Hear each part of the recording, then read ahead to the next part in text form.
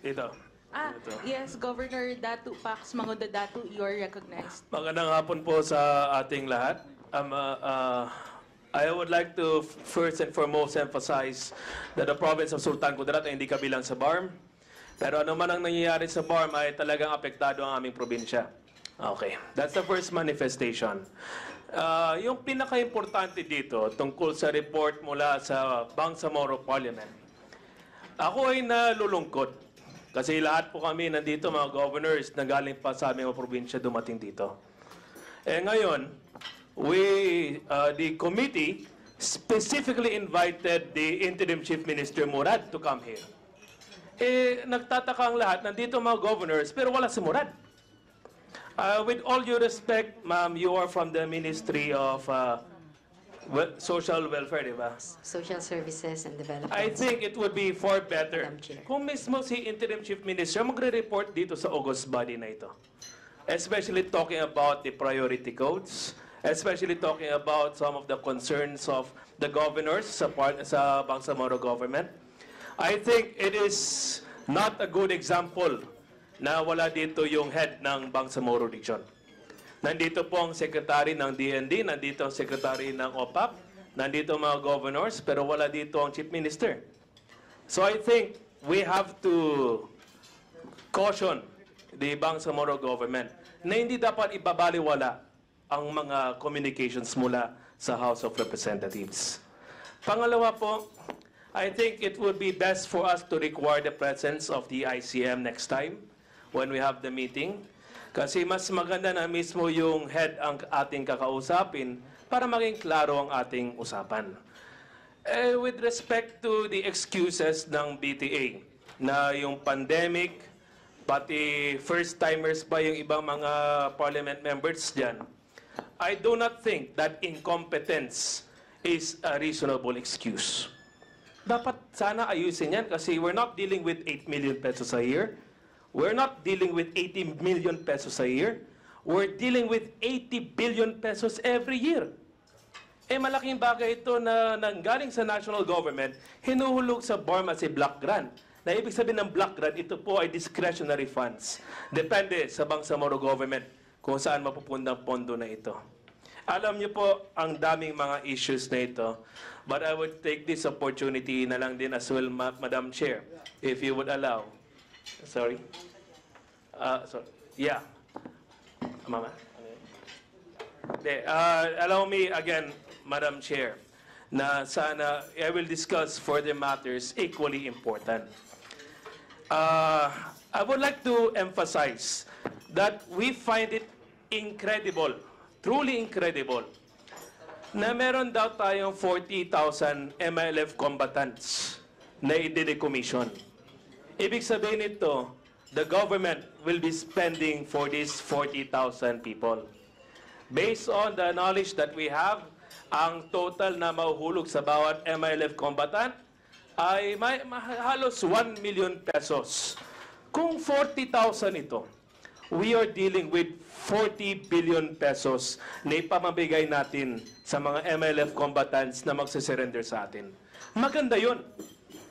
Pero ang hindi maganda, pati tayo na nag-allocate ng budget, kayo po sa Congress na nag-allocate ng budget, wala po tayong listahan kung sino-sino ang mga ito. Pati itong mga previously decommissioned, itong mga nag-surrender, hanggang ngayon, wala pang kopya ang mga governors kung sino-sino ang mga nag-surrender. We have totally no idea kung sino itong mga MLF combatants na tinutukoy natin, na ginagastusan natin, at binipondohan ng national government mula sa Congress. Again, we emphasize that we are dealing with 40 billion pesos only for the decommissioning. Iba pa yung pondo ng Bangsamoro government. So hindi pala ito biro.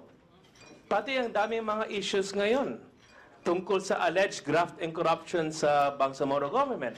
Tungkol sa paggamit ng resources nila sa halalan na ito laban sa mga political allies. At marami pang iba't ibang issues. Kaya I think it would be necessary, Madam Chair, for the House of Representatives and the Senate to call for a performance evaluation audit and review. Kasi napaka-importante na malaman ng lahat kung saan napupunda ang pondo. Ngayon, narinig po natin may issue sa listahan ng 40,000. Kasi confidential, hindi natin malaman kung sino-sino ang bibigyan ng pondo ng pamahalaan. Hindi natin alam kung saan mapupunda ang pondo para sa decommissioning. To be honest, Madam Chair, kung hayaan lang natin ito na magbulag-bulagan ang pamahalaan, eh parang nangangamoy ng korupsyon itong decommissioning na ito. Kailangan na merong listahan. Kung kinakailangan po ang uh, independent decommissioning body upang ilabas sa congressman at congresswoman ang listahan, I would strongly suggest that next meeting dapat nandito ang IDP. Hindi ko po alam kung sino dito yung ano, sinong head ng IDP, no? Sino po ang, I'm not sure who is the head of the independent decommissioning body. Pero nevertheless, napaka-importante na sa mga discussion na pagdating ng decommissioning, nandito din po sila. We are allocating huge amount of money. Pero hindi natin alam kung saan napupunta. Hindi po talaga natin alam kung saan napupunta. What's worse, itong listahan na itong 40,000, hindi nga dumaan sa mayor, hindi dumaan sa governor, hindi ko alam kung dumaan sa national government. Kasi ang nagva-validate lang lamang nito ay yung IDP ng mga foreigner at ang nagva-validate nito mga MILF. So how are we going to make sure na totoong tao itong bibigyan ng pondo na ito? These are very important questions. Kasi, nako, kailangan natin bigyan ng pansin na pag ma- mapunta ang pondo na ito sa maling kamay, eh baka magkaroon pa ng mas malaking baril ang mga kalaban, ang mga pamahalaan. I'm not saying na MLF is a kalaban, kaibigan na natin sila ngayon. Kasama sila sa gobyerno. Pero what I am sincerely cautious about, ay binibigyan natin ng pondo every year, pero alam naman natin na nagtatayo sila ng iba't ibang kampo sa iba't ibang lugar. Narinig po natin ang sinabi ng ah, governor ng Lanao del Sur na may nag-establish ng bagong kampo sa LDS. Sa Maguindanao Province, meron din nag-establish ng mga bagong MILF camps. Sa Sultan Kudarat Province, nandyan pa rin ang mga MILF kampo na yan. At mali, pati na rin sa iba't ibang probinsya. I think it is important for Congress na magkaroon ng clear statement that establishing another new MILF camp tantamounts to rebellion. Dapat ganun. Kasi hindi natin alam kung saan nagagamit yung pondo. Mamaya ginagamit nila pagpapatayo ng kampo nila at pagbibili ng baril. Eh, paano yan? Yung probinsya ko, we are Christian dominated, eh bigla kaming guguluhin.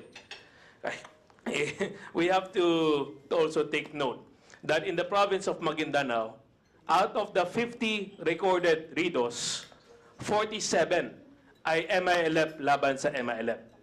Sila lang ang naggugulo doon. Kaya there must be a strong leadership mula sa BARM pati sa national government upang maayos yung problema at hitwaan ng MILF camps.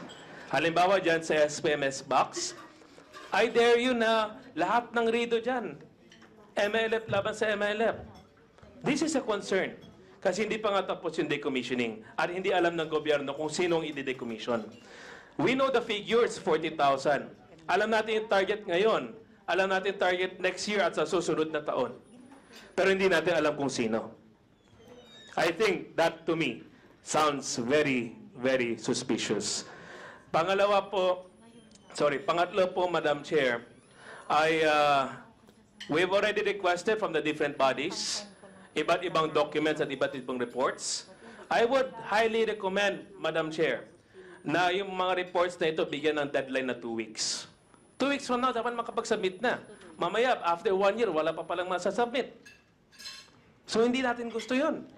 Especially ngayon, maghihiring na tungkol sa budget. Eh, dapat, as soon as possible, alam na natin yung figures. Kundi, tayo po ay maglalaan ng pondo sa hindi natin alam.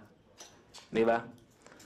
So napaka-importante sana, Madam Chair, and to the honorable members of the House, ay sana po mabigyan natin ng clear, strong iron fist order at uh, requirement na kailangan ang mga data na ito ay masubmit sa Congress para mapag-aralan ng maayos. Tama ba na 40 billion ang ilalaan? Tama ba na 5 billion? Eh, how would we know kung wala tayong data. So marami pa akong nais mabanggatin. Pero I would like to emphasize again our earnest request mula sa mula sa executive na LGU na dapat magkaroon po ng performance review.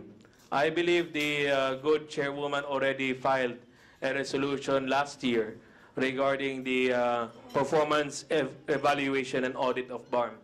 I would suggest that the same be filed and done again this uh, 19th Congress para malaman po talaga natin kung anong pinakamaganda.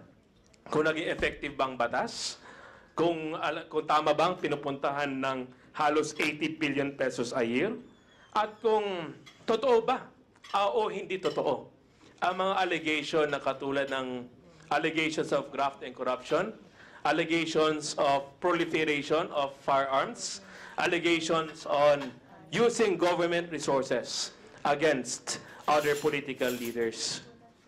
I think these are very sensitive issues. Kasi three years have passed. Now, may bibigyan sila ng another three years, magsi six years sila. Eh, para silang presidente na six years. Pero hindi pa natin alam, up to this date, saan napunta ang pondo. This is very alarming for me and I think for everyone as well. Uh, iisahin ko na lang din po, meron din po kaming isang issue na naisibahagi dito, Madam Chair, regarding uh, the issue of the Philippine claim to uh, the area of Sabah. Diba? We are, nanalo na po tayo sa arbitration and uh, the position of the President is to ensure that the national uh, integrity and sovereignty ay nandyan lagi at the most of our priorities. I think it should also be a concern na itong uh, July 26, uh, just a few days ago, yung special envoy ng Sabah na mula sa Malaysia ng president ng United uh, Nationalist Organization of Sabah bumisita sa Bangsamoro government nitong July 26. Bumisita po ang parang ambassador ng Sabah doon. Ang problema, pati ang Department of Foreign Affairs hindi alam sa pagbibisita nito.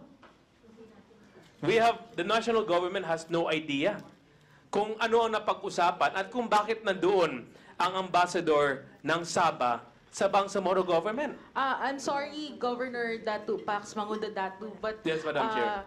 The issue regarding the Saba claim is under uh, Congresswoman Sakaluran's committee. She's the chairwoman Yeah, uh, of it is uh, important as well because this is concerned about what the Bangsamoro government do- is doing, yung interventions niya Yes. in the local government, at yung inter- interference ng ibang bansa sa kanilang pamamalakad. Yes, uh, but sir, uh, it is not under our jurisdiction. Maybe we can raise it under the committee of Maraming Congresswoman maraming Sakaluran. salamat, Madam Chair, but I would highly you. recommend that what I've stated regarding the issue of Saba be included in the minutes of this committee. Ah, Because it is equally important as well, kasi yung Office of the Presidential Advisor on Peace Process has also a say on how to on how the BARM should manage with regards to foreign entities as well. Noted, uh, Governor Mangunda. Actually, marami pa po akong nais babanggitin. Pero ang importante po, Madam Chair, ay yung performance audit, evaluation, and review. That it must be passed in the soonest time possible for us to identify kung effective bang batas at kung tama ang napupuntahan na mga pondo na ito. So far, yun lang naman. Siguro the other concerns, we can raise it in another forum and at another time. But I think these are of paramount concern para maging transparent po ang lahat. Maraming maraming salamat po. Uh, thank you, Governor Mangunda Datu. Yes, Governor Mangunda Datu. Uh, I, I just think, Madam Chair, that it is truly unfortunate na ang ating mga kapatid pa po na nagmumula sa ibang bansa ang nakakaalam kung sino-sino mga ito. At tayo mga nandito sa Pilipinas, mga governors at mayors, we have no idea kung sino-sino ang mga ito. The good secretary, uh, si the honorable secretary, already mentioned, Madam Chair, that the concerned agencies have the names of all of these combatants. Siguro yung mga natapos lang na decommission at yung mga i-decommission pa. Uh, perhaps it is just uh, fair na magkaroon po tayo ng clear stand sa committee na ito by, I would suggest a committee resolution whereby it is now mandated na pati ang mayors, pati governors have access, and including the congressmen and women, have access as to who these people are. As I have already said, ang concern na lang naman natin dito ay kung sino-sino ba ito at tama ba napupunta ng pondo na ito. Tama po ang sinabi ng uncle ko na si Governor Sultan uh, Sakurtan na we do not know who these 40,000 people are. And we truly find it incredible na 40,000 sila. Pero given the fact na yes, 40,000 nga sila, what's ang kailangan na lang po natin ay ang mga pangalan kung sino-sino ang mga ito. I respect and I acknowledge that there is a process sa independent decommissioning body. I also understand that there are some confidentiality rules, but I also find it equally important that those who are in the legislature and those who are in the local government must also have access para malaman din namin kung sino-sino ang mga ito at kami rin ay makapag-validate na, ah, eh, tama, ito siya MLF. Ah, ito, never ko ito nakita dito sa area ko. So I think it is just important, Madam Chair, that this committee files a resolution requiring the concerned agencies to divulge and reveal to the honorable members of the House and the LGU officials the names of all of these people. Maraming salamat. Thank you, Governor Mangudadatu. Um, sir, as mentioned earlier, we requested Secretary Galvez to furnish this August body a copy of the roster uh, wherein the name of the surrenderies and the firearm that was surrendered uh, is listed. And also, if we could furnish the same to our governors. Um, sabi magpapaalam pa daw muna si Secretary Galvez. Ma'am, uh, there is a process. Uh, I believe uh, the, you know, the repository of all the documents uh, is given to the IDB. But, uh, Yes, sir, but I think there's no harm Yeah, yeah. if we divulge those info to our LGU and to Yes, we- uh, the we- members of Congress. We will, ano, we will, ano, we will uh, convey, madam. And uh, I believe the, ano, the concern of the LGU is uh, very, ano, very much uh, valid. That's why uh, we will, ano, we will convey that uh, to the IDB. And maybe uh, if we will invite them, maybe in executive session, they can, they can reveal some information. Thank you, Secretary Galvez. Madam Chair. Yes, Governor Ah, patapos na rin po. I would just like to express my gratitude to the good Secretary Galvez, uh, to Secretary Faustino, and to the other focal persons who are in attendance. Uh, this is true. Although, siyempre, in the process of all of this, ay talagang may discussion, but this is all part of us towards one goal na magkaroon po tayo ng mas makabagong bansa na nakakabuti para sa lahat. So once again, thank you so much sa inyong lahat, Madam Chair. Thank you so much to the members of the committee and to the fellow governors in attendance. Maraming maraming salamat po. Thank you, Governor Mangudadatu.